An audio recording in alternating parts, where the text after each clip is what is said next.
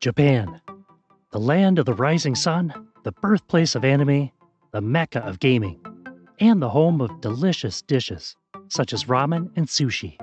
But there's so much more to Japan than just these common associations. Expand your horizons and make sure to check out the places we show you in this video on your next visit to Japan. Now that this mysterious country has once again opened up its borders to tourists. Welcome to our channel, where we talk about all the beautiful places around the world. If you're new here, we're glad you found us. And if you're a subscriber, thank you for joining us again. Without any further ado, let's head straight into the countdown. Number 1 Tokyo. Most people immediately think of Tokyo when talking about a visit to Japan, and why not?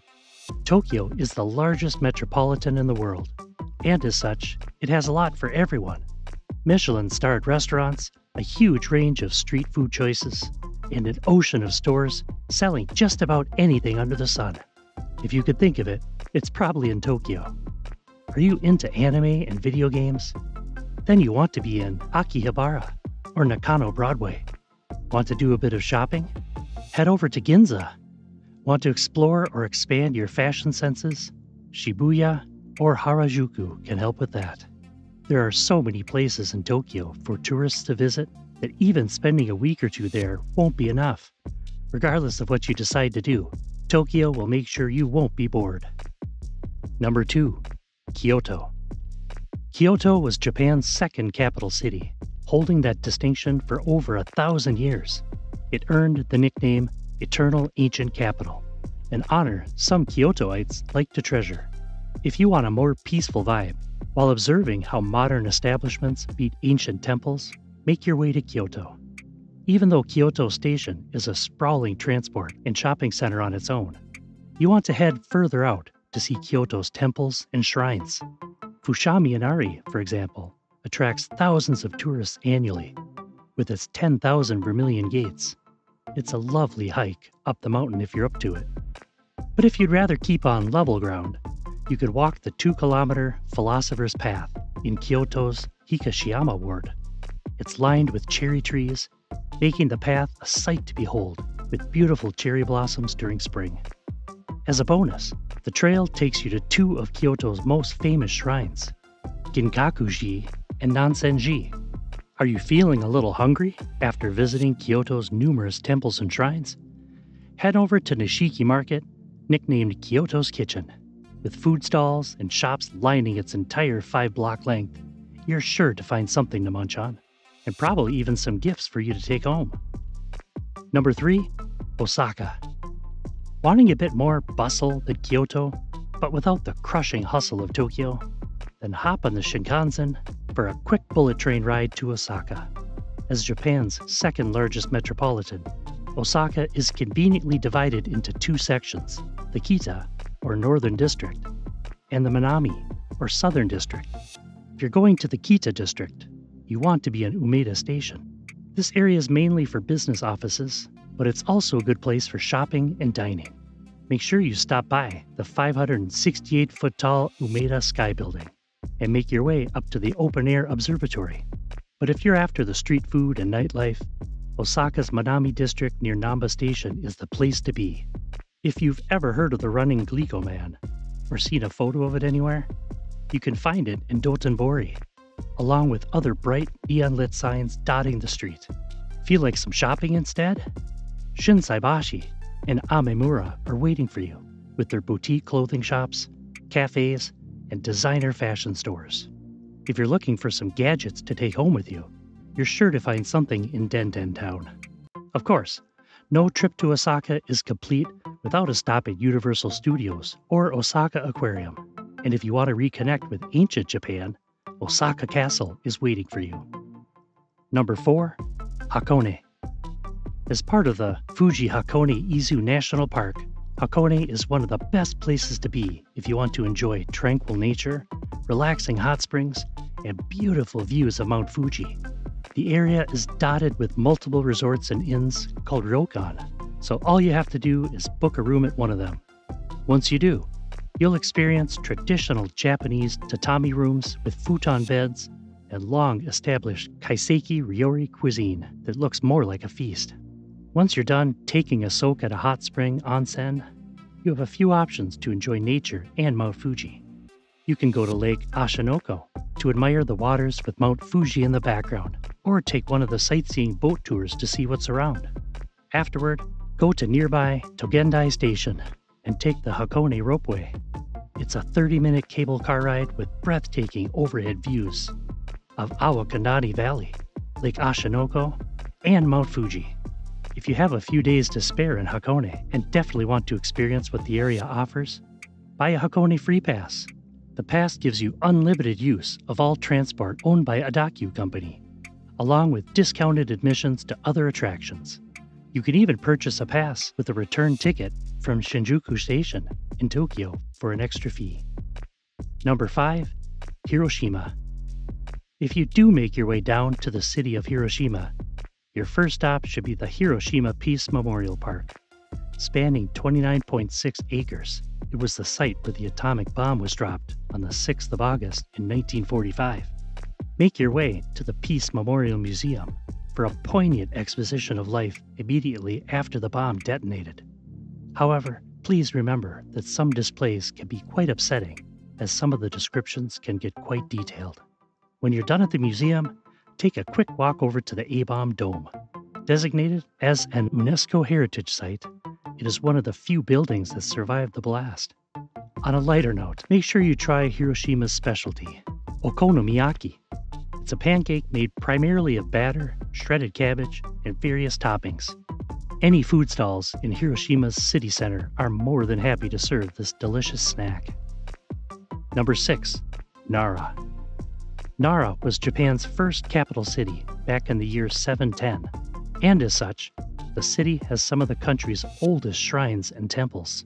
It's less than an hour from Kyoto or Osaka, so you can quickly go to Nara for a day trip. As a bonus, you'll get to see wild deer roaming around, getting very close to people.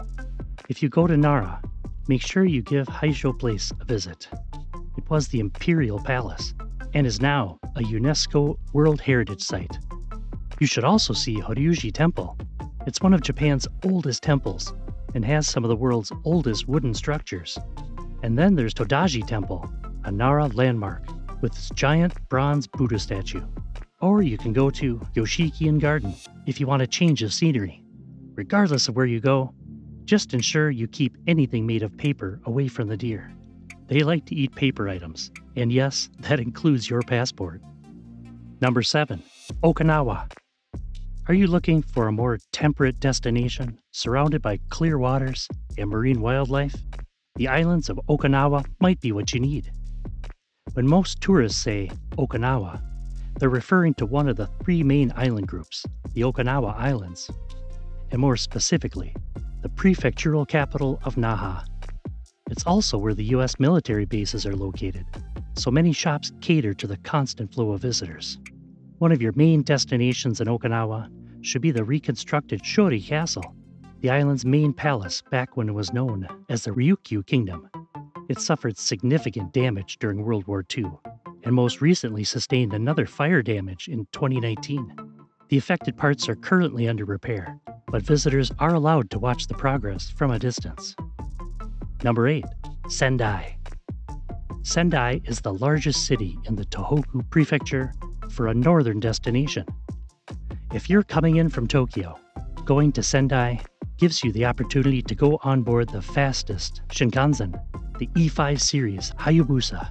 And once you make it up to Sendai, the city center will greet you with multiple shopping areas and tree lined streets. Venture outside the city center to the remnants of Aoba Castle from 1600. You'll be able to view Sendai from the lookout point, with the castle located 328 feet above the town. And even though there's nothing left on the grounds, the Castle Museum offers visitors a virtual reality tour showing what this place used to look like. Once you're done roaming around the castle, make your way back to the city center to try Sendai's local specialty, beef tongue. Called gyutan, lots of Sendai restaurants grill it and serve it over rice or in a curry. The third floor of Sendai Station has an area called Gyutan Dori, dedicated to restaurants serving beef tongue. Number 9. Sapporo. Making your way up to Sapporo might be a bit of a trek, but this major Hokkaido city deserves your attention. Even though it's Japan's fifth largest city, it is also relatively young. Sapporo is a popular destination during the winter months because of its northern location.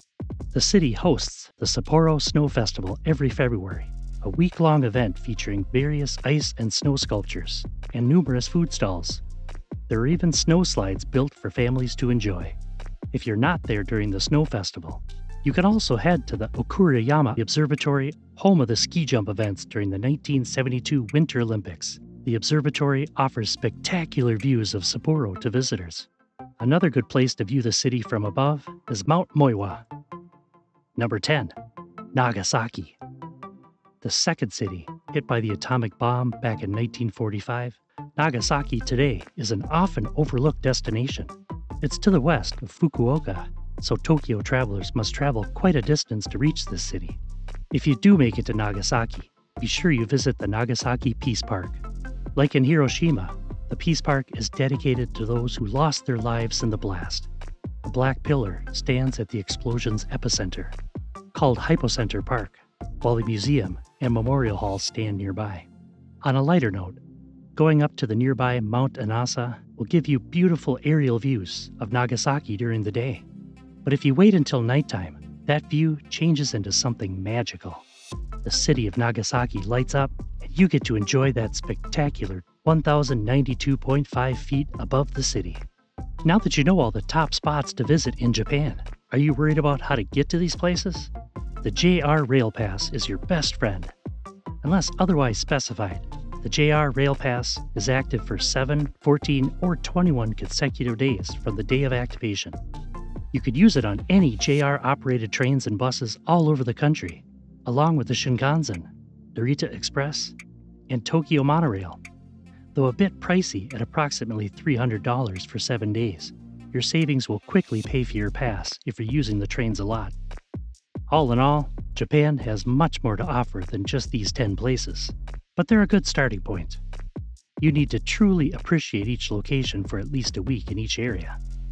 So which place was your favorite? Comment below. And if you enjoyed this video, you're definitely going to love this other video from our channel. Be sure to like and subscribe if you want to see more content like this.